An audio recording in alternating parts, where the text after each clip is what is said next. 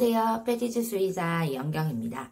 강아지가 배를 발라당 보여주는데 배에 혹이 있다면 걱정이 될 수밖에 없죠. 그런데 점점 그 혹이 커져간다면 불안감이 커질 수밖에 없습니다. 강아지 배에 혹이 보일 때 그 원인과 대처법에 대해 알아보겠습니다.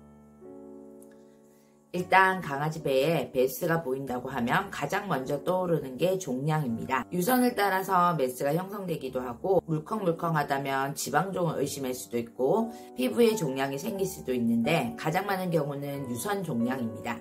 유선 종양은 중성화하지 않은 암컷에서 다발하며 5살에서 10살 이상의 강아지에서 많이 발생하지만 5살 이하에서도 발생할 수는 있습니다.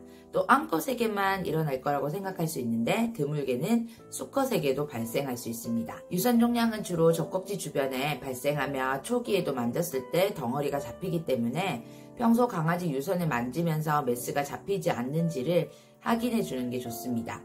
그리고 피와 고름이 섞인 유즙이 분비되거나 배와 가슴에 피가 배어 있는 경우에는 빨리 병원을 방문하여 검사하는 것이 중요합니다.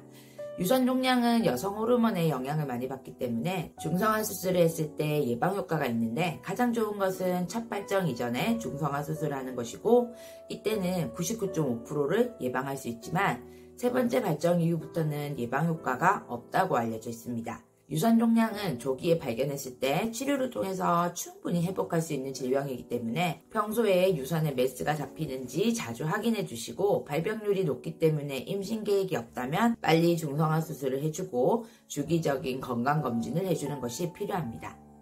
두 번째로 오는 것은 지방종으로 피부 밑에 지방이 뭉쳐서 생긴 것이기 때문에 만졌을 때 물렁하고 움직일 수도 있고 통증이 없습니다.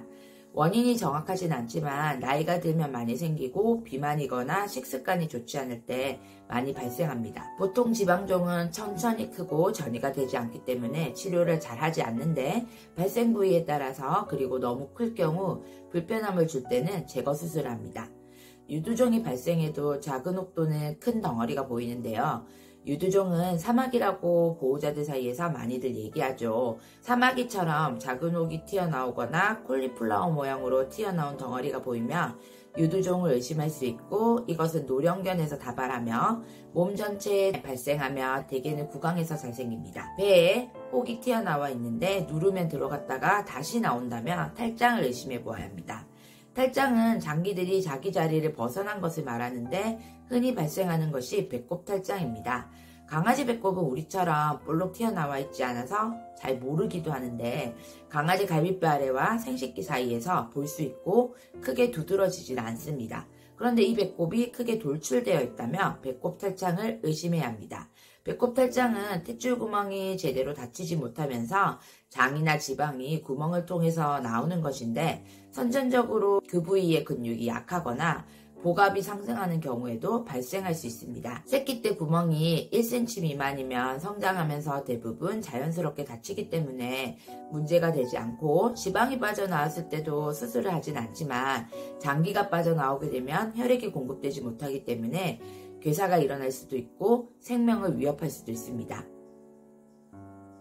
일단 평소에 반려견의 배를 만지면서 손에 걸리는 게 없는지 유두에 메스가 잡히지는 않은지를 자주 확인해 주시고 만약 블록한 것이 걸리면 통증이 있는지를 살펴보고 그 덩어리의 크기나 색, 모양뿐만 아니라 강아지의 행동이나 식욕의 변화가 있는지도 지속적으로 관찰해야 합니다. 크기가 갑자기 커진다면 악성 종양의 가능성이 높습니다. 또 혹 같은 게 배 외에도 있을 수 있기 때문에 다른 부위에도 있는지를 확인해 주는 것도 필요합니다. 그리고 꼭 병원을 방문해서 진찰을 받아주세요. 강아지 몸의 변화를 알기 위해서는 자주 스킨십을 하면서 몸에 혹이 났는지를 확인해 주는 것이 필요합니다.